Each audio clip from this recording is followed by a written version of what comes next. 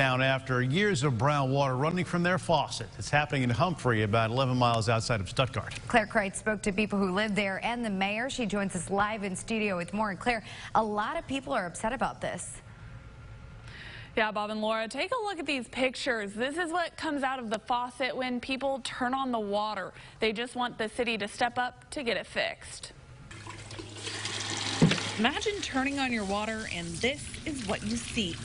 Water goes from clear to yellow to a dirty brown.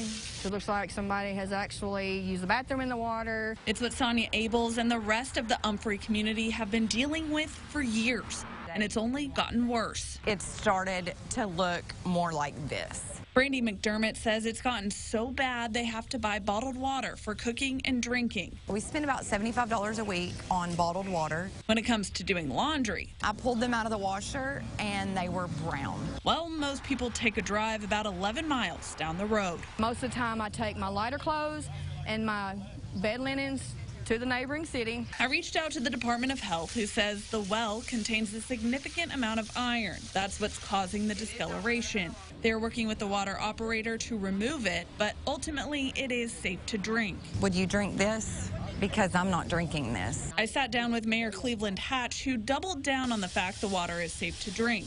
Do you drink it? I haven't, I haven't uh, uh, uh, drank this water in years. He did say there is a problem that needs to be fixed. It's not isolated to just certain individuals. It affected me also.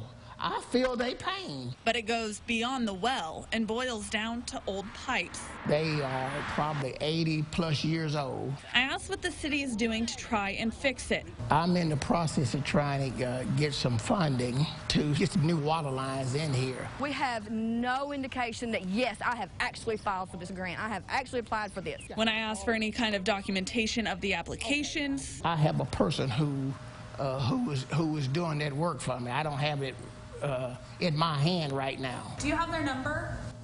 Uh, can I get that and call you back at that number? I gave Mayor Hatch my email and cell phone number for either a name of his grant writer or the applications themselves. So far, I have not gotten either one. Back to you.